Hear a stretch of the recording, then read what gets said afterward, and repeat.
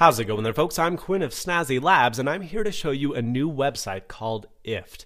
Now, IFTTT came out just a couple months ago, and it is amazingly cool. Now, what IFTTT allows you to do, and the website, by the way, is ifttt.com, is it, quote, allows you to put the internet to work for you, end quote. Now, for a lot of people, they're like, well, what the crap is this? What does this do, and why do I want to use it? Now, I will admit, even though IFTTT created an amazingly cool service, they did a really crappy job at explaining what it is that it does. So, what I'm going to do in this video is show you what IFTTT can do for you and why you absolutely need to use it. So, ignore this page, just click the join button, get yourself a username, an email, and a password. I already have all of these, so I'm going to sign in and I'm going to click my 1Password button and sign in to ifttt.com. Now, what I want to show you is the three tabs on top of the page. This is the channels button. Now, what channels allows you to do is hook up all of your social media accounts. For those of you that are probably thinking to yourself, I know what this is, yes, it allows you to socially syndicate information and content without having to directly interact with said network. Now, for those of you that are like, uh, what? Don't worry. All you have to do is set up the accounts you want to set up. The ones that are in color, like Twitter and Vimeo and Weather and YouTube and SoundCloud and Dropbox, are the ones that I have actually set up. The ones that are grayed out are ones that I have not set up. You can set up as many accounts or as few accounts as you'd like. Now, what I'm going to do now is go to the tasks area. This is the main basis for ifttt.com. Now, hopefully, this can help you kind of understand how IFTTT can be really, really cool. Now, I can say if I take a new picture with Instagram, then place it in a specific folder in my Dropbox account. So I don't have to do any of that uh, photo roll iPhoto crap anymore. All I have to do is take a picture and boom. The minute I take it on Instagram, it appears in my Dropbox, which is pretty amazingly cool. And the same appears for Dropbox. If I put a folder in a Dropbox folder, then upload it to my Facebook page. This can be really, really cool because you don't have to integrate with the crappy Facebook page uploader. Maybe you don't have access to the web version. Maybe you want to use the mobile version, but you want a high quality image. There's a lot of reasons to use these tasks. Now, there's four buttons here. You can junk a task, you can turn it on and off, you can submit it uh, or make it into a recipe for other users to use, which we're going to talk about in just a minute, and then you can edit the task. I can also filter uh, by channels and by tags. Now, what I'd like to do is create a new task. So I'm going to say if this, so let's choose a service that we want to use. Let's do YouTube.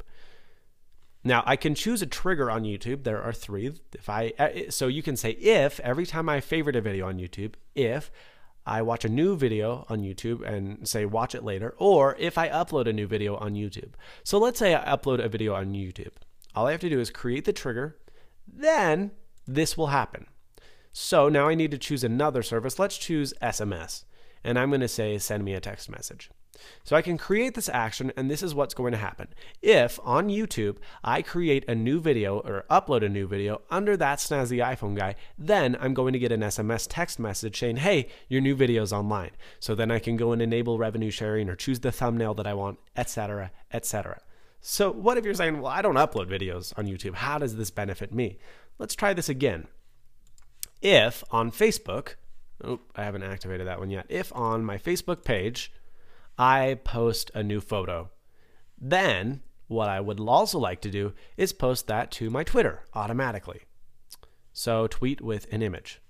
That's pretty awesome, right? So I can create the action every time I upload a new photo on that snazzy iPhone guy, then it's going to post a tweet with that image on my Twitter account, SnazzyQ. So I don't have to do it on both. And what's even cooler is let's say I use the Dropbox one. So all I could do is drop a photo into my Dropbox and it will automatically go to Facebook and Twitter without me having to do a singular thing. It's pretty darn cool and I highly recommend you check out IFTTT out. There's a lot of things you can do that you may think you don't need to do, but may be really, really handy. So let's say uh, the weather in the morning is really, really crappy. I can say weather.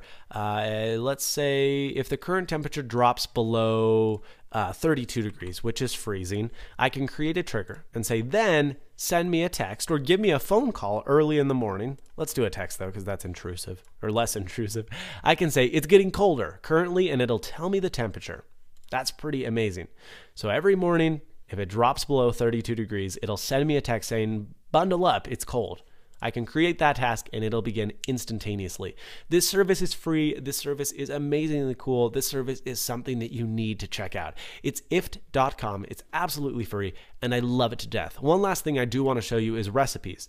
You can see other users' uh, submissions to the public. So, for example, this one is submitted by Derek Jackson. And what he allows you to do is say, when you change your profile picture on Facebook, also change it on Twitter. That's pretty awesome. If it's raining tomorrow, send me an email. If I start something in Google Reader, uh, put it on my Evernote account. If I post something, uh, or if I thank people in Twitter, oh, this one's pretty cool actually. Uh, if they mention you on Twitter, you can thank them via uh, YouTube, or excuse me, Twitter DM. That's pretty darn cool. Uh, if I upload a picture to Facebook, it will go automatically to my Dropbox. I can archive all of my tweets in Google Calendar. I can add something to my Netflix streaming without having to touch it. There's so many freaking cool things you can do with IFTTT, and you absolutely need to check it out. It's free, it's easy. IFTTT.com. Don't be intimidated. Give it a shot. Play with it. There's nothing you can do to screw anything up. It's a lot of fun. Thanks so much for watching. Please subscribe, rate, comment, check out IFTTT at IFTTT.com. Thanks to David DeFranco of The Creative One for recommending this service to me. And as always, stay snazzy. See you later, folks.